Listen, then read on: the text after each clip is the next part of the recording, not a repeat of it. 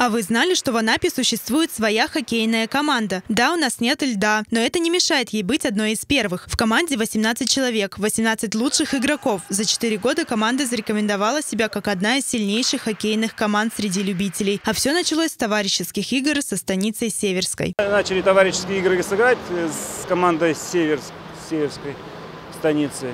Вот. И с этого началось создавание команды.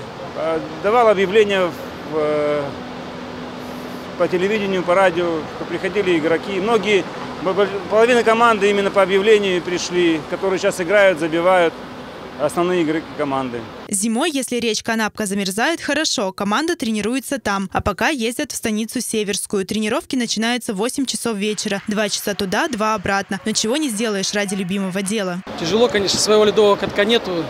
Приходится 150 километров каждый день там, ездить туда-обратно, тренировки. Как бы, ну, ребята все инициативные, как бы болеют хоккеем.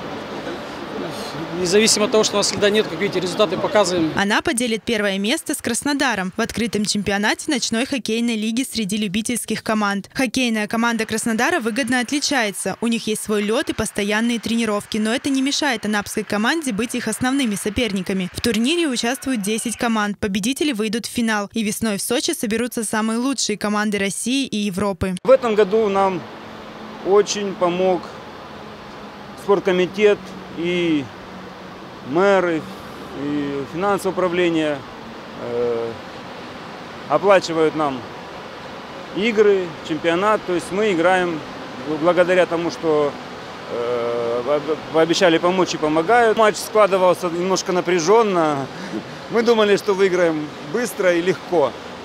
Но ну, как всегда, это лотерея, всегда против, э, мы идем на, мы первое, второе место делим, поэтому против нас настраиваются игроки, все команды против нас настраиваются серьезно, вот. И немножко сложно было первый период, второй, ну, потом расслабились, начали играть свою игру и выиграли. С хорошим счетом 7-3. На льду царит особая атмосфера борьбы, спортивной жесткости и настоящей командной игры. Это очень важно, ведь на кону стоит ледовый каток от государства. Но для этого нужно пройти отборочный этап, итоги которого подведут в конце зимы. Победители поедут в Сочи, а пока каждая команда борется за выход в финал.